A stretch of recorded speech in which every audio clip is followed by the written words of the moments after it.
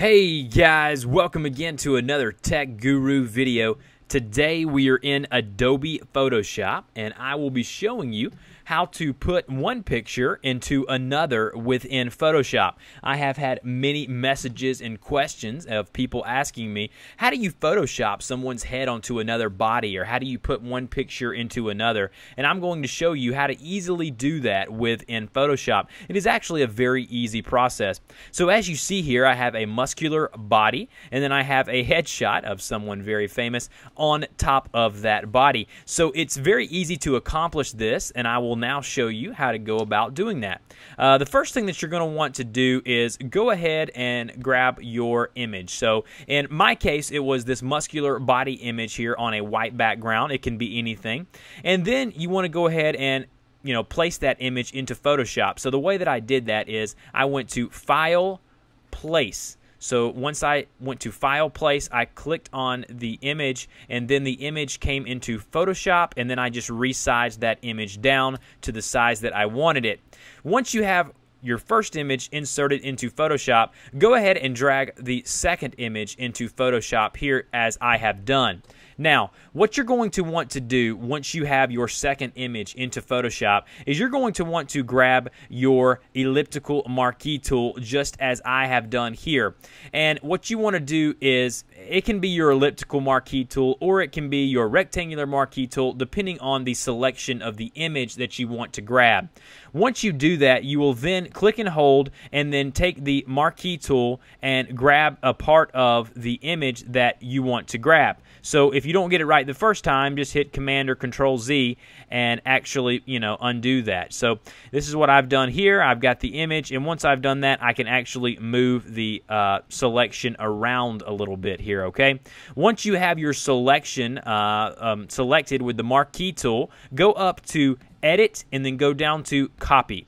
Once you've copied this part of the image you want to grab, go ahead and go back over to your first image. Now, what I want to do is I want to go up to edit and then I want to go to paste.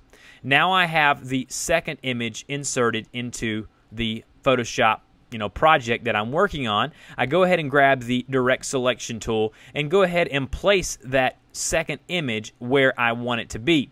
Now, what I've done with my image here is I've done a little bit of extra stuff here that to make it look better as you see here in the first image. I've actually gone into the image here uh, by grabbing my zoom tool. So I've grabbed my zoom tool and then I've gone right over here to where you see a little bit of this black area here and I actually have grabbed my eraser tool and you need to make sure the layer that you want to erase is selected in your layers panel and then go over here and actually start erasing some of this stuff that is unnecessary. So I'm not going to be too, uh, you know, exact on this uh, selection here because I kind of don't want to make this video too, too long. So I have gone through here and I started erasing some of the stuff that uh, makes it look a little unnatural. Uh, obviously, it's going to look unnatural in this case, but uh, what I've done here is I've actually uh, gone through and I've tried to kind of blend it as well or, you know, as good as I, I possibly can. And then there's one last thing you can do is you can go in here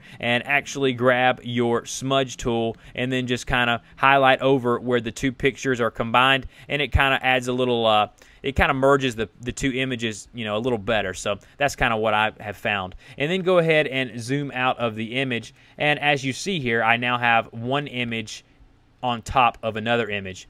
And so guys, this has been a quick tutorial on how to put one picture into another within Photoshop. If you do have any questions, go ahead and put them in the comment box below. Again, as always, guys, thank you so much for watching my videos. If this video helped you out, go ahead and click on the thumbs up button below the video and like this video.